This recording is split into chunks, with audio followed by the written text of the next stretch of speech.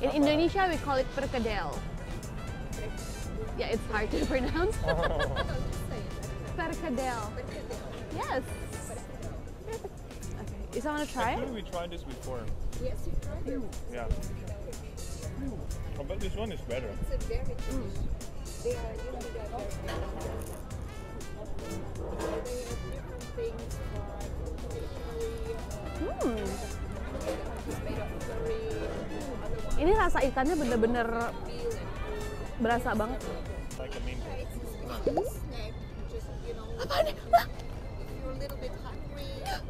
The afternoon, oh, what happened? What is it?